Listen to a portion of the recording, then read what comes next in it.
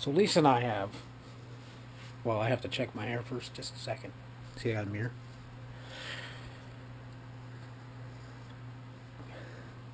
So my wife and I have two cats,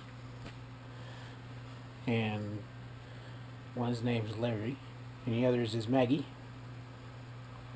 And for some reason, our older cat is in love with my wife's sweater. And it's not usual that I see a dog that makes a bed.